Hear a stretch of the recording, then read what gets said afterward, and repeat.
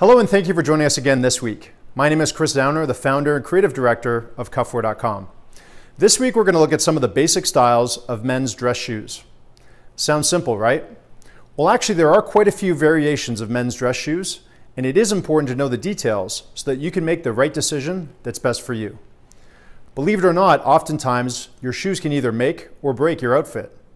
It is important to buy good quality shoes that fit well and that you keep in good condition with regular polishing. Let's take a look at some of the styles. We will start with the Oxford. The Oxford is typically your standard business shoe and is defined by the closed lace system.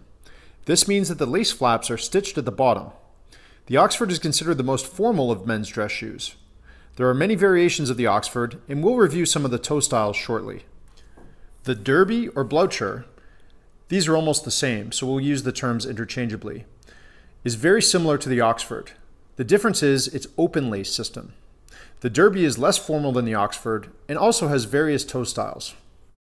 Next we have the monk strap. This is defined by a leather strap that crosses the shoe.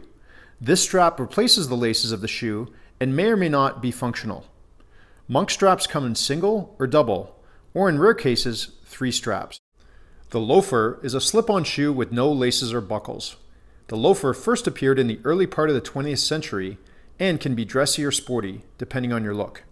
The Chelsea boot is recognized by the elastic gusset or zipper on the side of the boot. These became most popular in the 1960s when the Beatles and other British bands wore them. Now let's look at the different styles of toes. Keep in mind there are an infinite number of variations.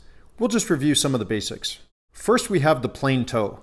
Typically, this is the most formal style and gives us a clean, modern look. A medallion toe is similar to a plain toe shoe, but has a decorative stitching or broguing on the toe. Broguing means there are tiny holes punched in the top of the toe of the shoe. The cap toe has a cap of reinforced leather on the shoe and are a very popular style. The apron toe can be recognized by the visible edges or stitching that finishes off the toe and forms a sort of apron along the front of the shoe. There is also a split toe apron, as we show here. The wingtip features a pointed toe cap that extends along each side of the shoe. To add a punch of color to your outfit, I recommend checking out our friends at stolenriches.com. They make amazing colored shoelaces, and their family's been making laces for almost 100 years. Make sure you check them out. Thank you for joining us again this week. Make sure you check out the blog section of our site at cuffwear.com. This week we share with you a little bit more detail about some of the dress shoe styles and some tips on how to care for them. We'll see you here next week, and don't forget to dress up the moment.